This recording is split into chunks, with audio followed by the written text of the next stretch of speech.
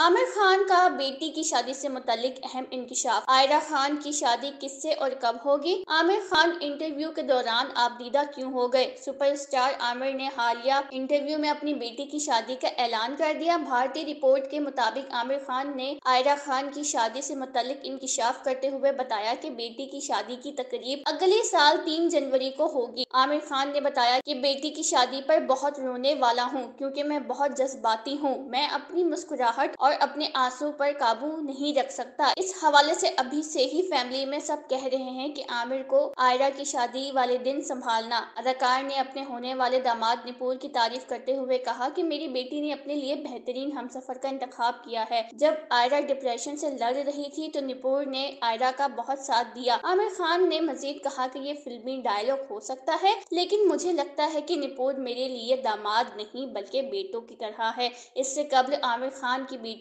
आया खान ने रिपोर्ट के साथ मंगनी की थी। मुंबई में मुनद तकरीब में आमिर खान की दोनों सबका अहलिया जीना और किरण राव ने भी शिरकत की थी।